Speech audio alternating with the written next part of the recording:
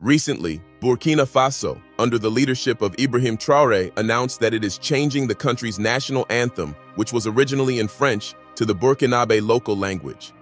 First of all, we want to say congratulations. According to the Burkinabe Ministry of National Education, the Burkinabe national anthem has been translated into 14 local Burkinabe languages in order to strengthen patriotic sentiment and shift away from neo-colonial practices.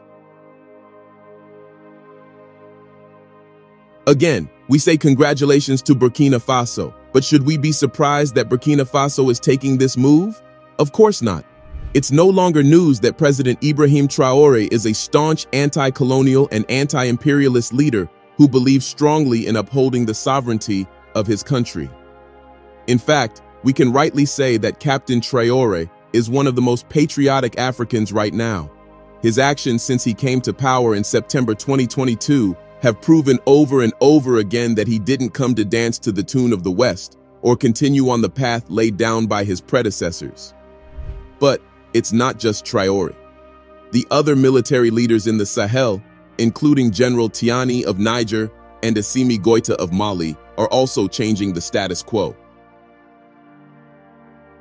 Since these guys came to power, they have strived to break the chains of colonialism that have held the African container for so long kicking out French troops and distancing their countries from the West, as well as prioritizing the sovereignty of their countries, have distinguished them over other African leaders who are weak and are puppets to the West.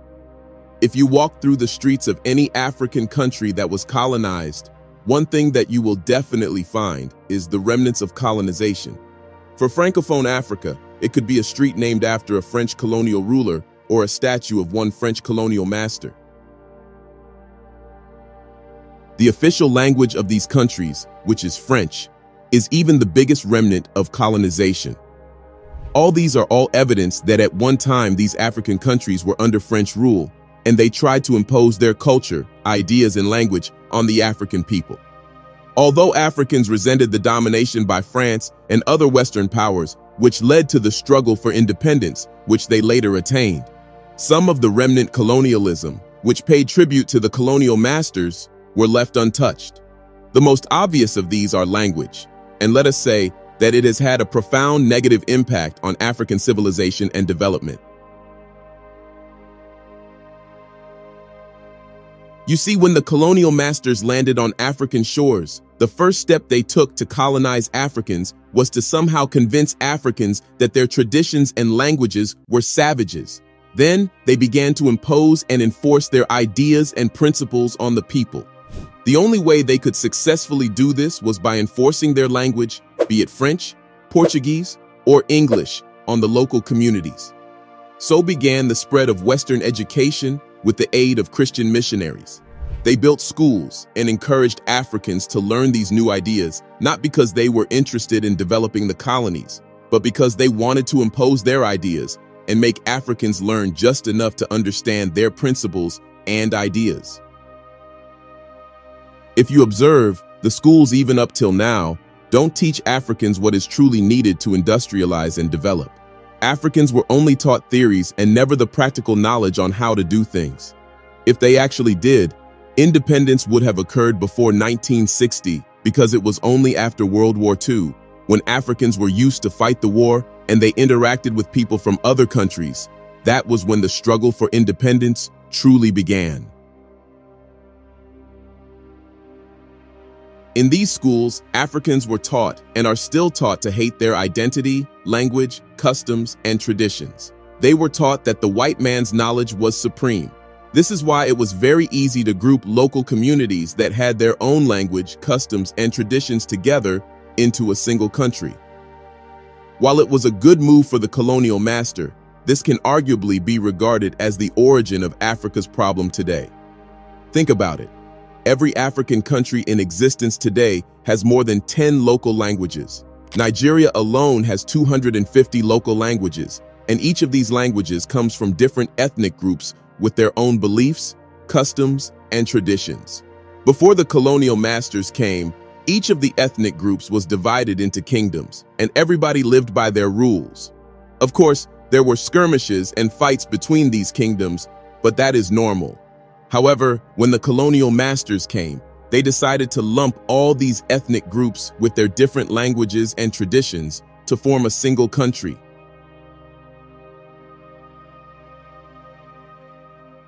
Now, check the root cause of violence and insecurity in most African countries. It can be traced to tribal and ethnic concerns.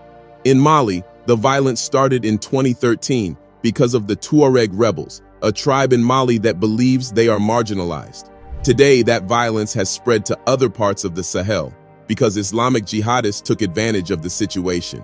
In Nigeria, the political scene is not stable because the minority groups feel that only two tribes, which are the Hausas and Yorubas, have been the ones leading the country since independence. This issue of ethnicity and language has created strife and division, making the goal of African unity a dream. If Africa is to get better and have any hope of development, Africa needs to go back to its roots. Africa needs to find its identity and language.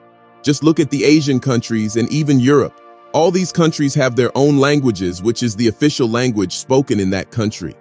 In Germany, the official language is German. In China, it's Mandarin. In India, it's Hindu. Yep, interesting thing. All these countries have different languages as well, just like Africa, but they have a general language that everyone speaks. It seems that it's only in the African continent that the official languages are languages imposed by the colonial masters. In African schools, it's considered wrong and a crime to speak your local language. The situation is terrible and is even worse because some of the current generation of young people do not even know how to speak their local language. Everything they know is either English, French, or Portuguese. When will Africa learn? China was very poor before World War II. But after the World War, the leaders decided to take serious measures to develop their country. Guess what? They did it without losing their identity. In Africa, the situation is not the same. Africa needs to follow the steps of China and choose one official language. This is a very necessary step to break free from colonialism. African countries are not the only countries that were colonized. India was colonized by the British, but they didn't lose their identity, language, traditions, and customs. Captain Ibrahim Traore understands this and that is why he decided to translate the national anthem into 14 Burkinabe local languages, which will be taught in schools. The president of Mali, Assimi Goita, also took a similar step last year to remove French as the official language of the country. In Burkina Faso, a major street in the capital city of Ouagadougou, which was named after the French colonial-era leader Charles de Gaulle, has been replaced with that of Thomas Sankara, a Pan-Africanist hero of Burkina Faso and beloved former president. Burkina Faso, however, is not the only African country that has endeavored to decolonize its streets. Similar moves have been made in Ivory Coast and Senegal.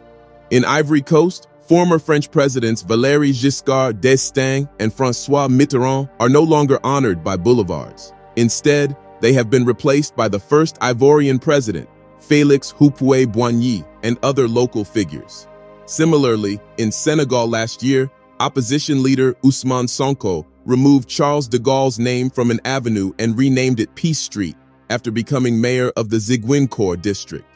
Other signs bearing the names of French colonial personalities were also replaced. In Tanzania, the renaming of streets in the city of Dar es Salaam has been undertaken to reflect the country's post-independence identity and honor Tanzanian leaders and historical figures. After gaining independence from British colonial rule in 1961, Tanzania embarked on a process of reclaiming its history and cultural heritage, including the renaming of streets that previously honored colonial figures. Streets that were originally named after British governors, colonial administrators, and other colonial-era figures underwent a transformation to highlight the contributions and achievements of Tanzanian leaders. The renaming aimed to celebrate the nation's own heroes and emphasize its independence and self-determination. These actions taken by these leaders are necessary steps to push the continent in the right direction. However, as much as we applaud these actions, the fact is that not it is not enough. There is more that needs to be done for the African continent to shed itself from the remnants of colonization. What are your thoughts? Let us know in the comments section below. Don't forget to like, subscribe, and share this video.